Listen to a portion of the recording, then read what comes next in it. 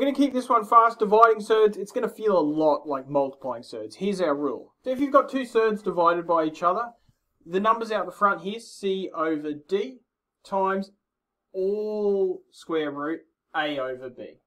So let's just do some. So, so no numbers out the front this time, just root 21 over root 7. We can write that as 21 over 7. So root 21 over 7. 21 divided by 7 is 3. So we get root 3. It's as simple as that. So next one, 12 root 40 over 3 root 5.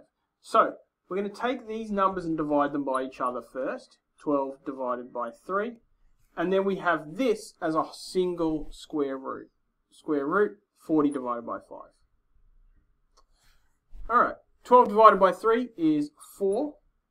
And then we have this single square root still, 40 divided by 5, which is 8. Actually, I didn't need to do it that big. Now, you should look and stop and think and say, wait a minute, root 8, that can be simplified. Uh, we get 4 root 4 times 2, and that 4 can come out our answer is 8 root 2. If we're following this rule, we can't really go too far wrong when it comes to dividing surds. Now, sometimes you might want to divide surds, but then realize actually that's not a good idea. And that's one of these cases here. So you might think to yourself, and this is going to be wrong. I'm going to show you what I'm going to do. I'm going to do it wrong. Wrong. This is wrong. Okay, uh, there's an invisible number 1 there. So I can say 1 over 2 times and then I can put them all over a single square root, 32 over 25. But then I kind of get stuck because I can't divide 32 by 25 evenly. I don't get any single number out of that. So where do I go to from here? So this is wrong. This is, it's not mathematically wrong, but it's not going to send me in a good direction. But instead, I should have looked at it from the very beginning and said, wait a minute, root 32 and root 25, root 25 is very special because it's just the number 5. So I can rewrite this as 2 times 5 on the bottom. And root 32 can be simplified as well. Um, it's uh, 16 times 2. So what do I get here? I get the 16 coming out the front, 4 root 2 over 10. Okay, that's pretty good, but I can simplify just a little bit further.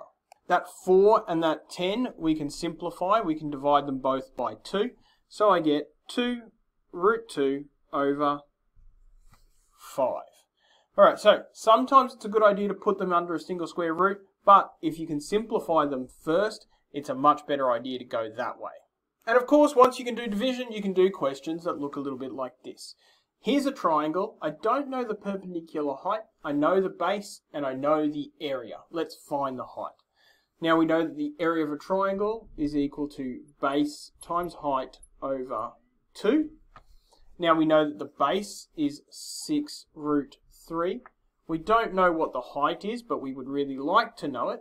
And we can divide all of that by 2. We know the area is 27 root 15. So, now we can do two things here. Uh, the first thing we can do is just divide by 2. So, that's going to be 3 root 3h. And this is going to be 27 root 15. And now to get h by itself, we need to divide by 3 root 3. So h is going to be equal to 27 root 15 over 3 root 3.